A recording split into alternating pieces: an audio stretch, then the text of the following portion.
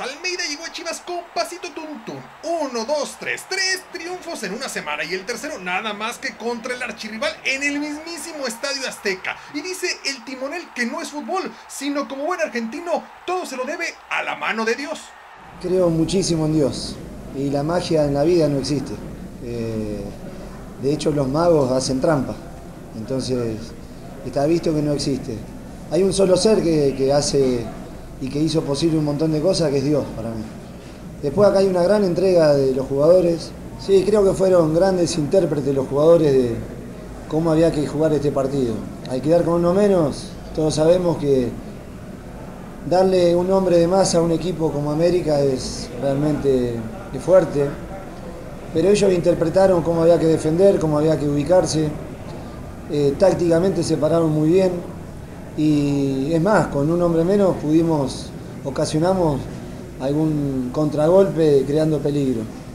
Pero realmente no tengo palabras de agradecimiento para este grupo de jugadores. Chivas Parlanchinas, Toño Rodríguez, Jorge Vergara, todos con sonrisa marcada y muchas ganas de platicar. América, en este momento que estaba el América, es muy valioso y por supuesto nos prepara a seguir adelante. ¿Qué le hacía falta al Guadalajara? ¿Qué le hacía falta a Chivas para que... Matías es lo que le hacía falta. 100%, 100 de, de, traer un 22% de porcentaje, traemos 100% de porcentaje, creo que ahí está la diferencia. Pues mira, yo creo que lo más importante es que fue un gran partido de los dos equipos, fue espectacular el fútbol que vimos eh, y además con dificultades porque ganamos con 10 hombres y creo que, que, demostramos de lo que tenemos madera y creo que si le ganamos a América tenemos madera para mucho más. Del lado amarillo, mucho, pero mucho dolor y claro, mucho ardor. Son los guijarros que dejó el clásico que Chivas, sí, Chivas se llevó.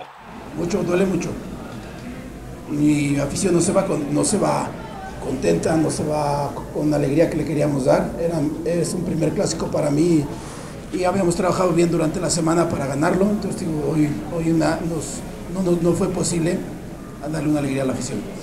Digo, todas las derrotas duelen, pero más esta. Este es un clásico donde la gente estaba muy contenta, estaba muy emocionada. Nuestra afición estuvo alentando al equipo. Eh, como y luego la semana no la llevas bien porque, porque te gana el equipo, el, el, el rival más, al que más no te da posibilidades de perderlo.